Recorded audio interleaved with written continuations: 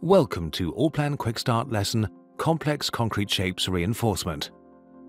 In the previous lessons, you've learned how to 3D reinforce any typical element like foundations, stairs, slabs and walls. Everything was done for a regular structure. But as you know, concrete is a versatile material that can be cast in virtually any complex shape.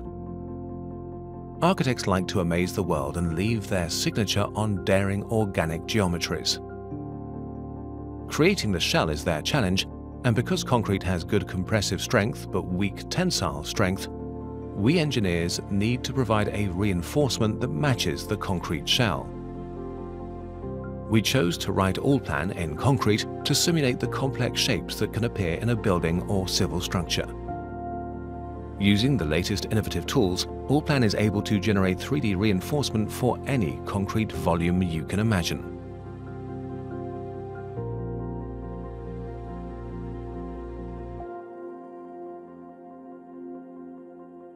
Double-click on the background to open project-specific basis and load the Lesson 13 Engineering favorite. Now hit Close.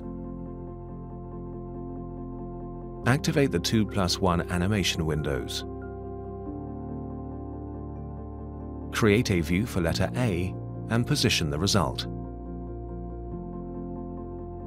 Select Bar Shape tool, choose a steel quality and check the concrete cover. Now it's time to draw the longitudinal bars. You simply have to click near the formwork and Allplan will offset the line with the concrete cover. Hit Escape to finalize the shape. Escape again to close the placement window. Create a second bar in a similar manner by clicking near the formwork. Continue to draw reinforcement bars until you create the desired reinforcement detail. After drawing all required vertical reinforcement, it's time to place them in 3D. To do that, select an isometric view and activate the Extrude Bars Along Path tool. Select all the bar shapes, then click on any edge that shows the direction of the placement in the isometric view. 3D reinforcement is generated instantly. Everything remains parametric, so you can change at any time the spacing or even create regions with different spacing.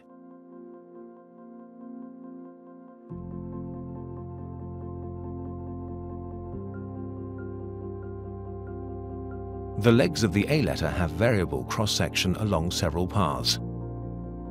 To verify this, you will create two associative sections. These cross-sections need to be orthogonal to the leg, so you can match this angle by going to Angle and clicking on the edge. Select the section area and define the viewing direction and depth. The final step is to position the result. In the same manner, create a secondary section on top.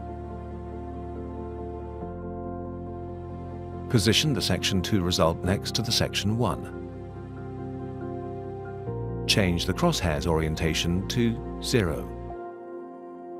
Now you will create a closed stirrup in each of the associative sections.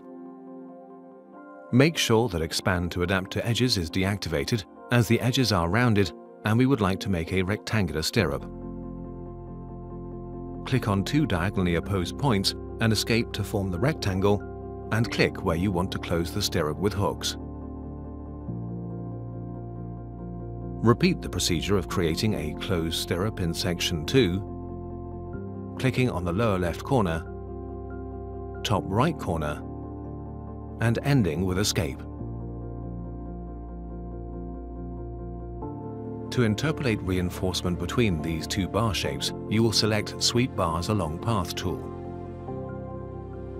Select the stirrup in the first section, then the one in the second section, escape as we don't have a third section, and now go in the isometric view to indicate the paths. Select four of the edges to ensure a precise indication of the extrusion path. Escape to generate the 3D model. This reinforcement placement is also parametric, so you can change the spacing and even create regions with different spacing. Make the typical reinforcement of 15 centimeters and deactivate other regions. In the same manner, you will sweep the bars from section 3 to section 4 while indicating the four directing edges.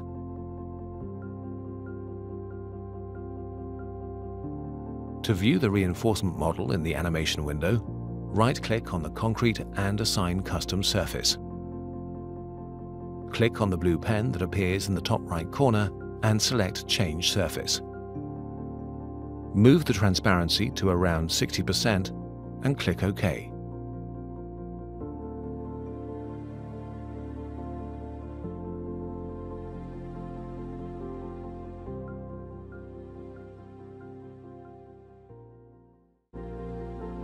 Detailing variable reinforcement is very easy to do.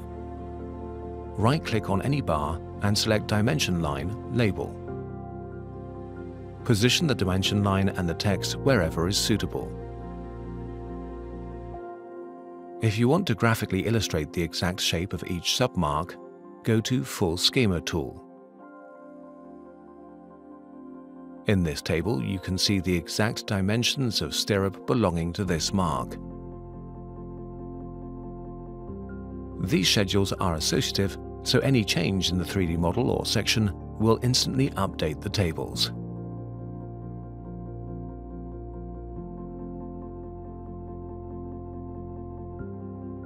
The most problematic and painful might probably be the reinforcement of letter P. The letter has a very big variation of the cross-section on several random spline paths. Also, because of the big letter proportions, you will include two types of stirrups. A general one and an intermediate one in each section. Select the bars in section 1, then select the bars in section 2 and hit escape. Now indicate one inner edge and two outer edges and hit escape to generate the reinforcement model.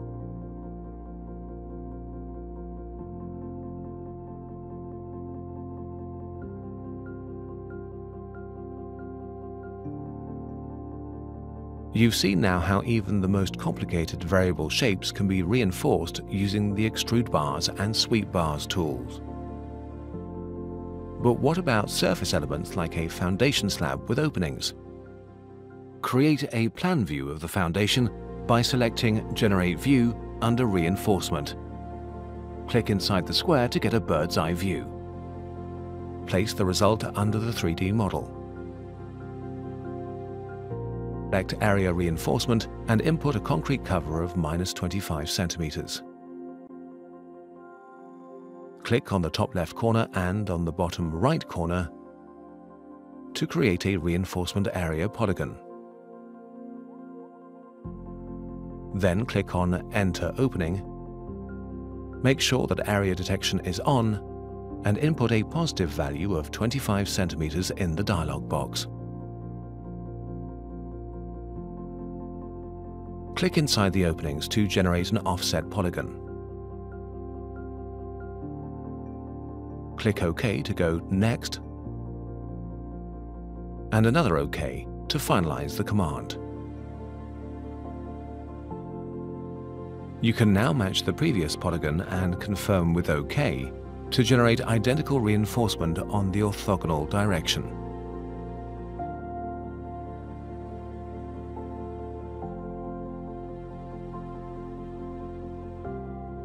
You can now automatically calculate how much 3D reinforcement has been prepared for this model by generating a bending schedule. But how can you be sure that every mark is unique? At first glance, we have used 94 marks to build this model. But how can you be sure that there are no identical marks with different numbers? Luckily, Allplan has a very easy to use tool that allows a renumbering and rearrangement of marks.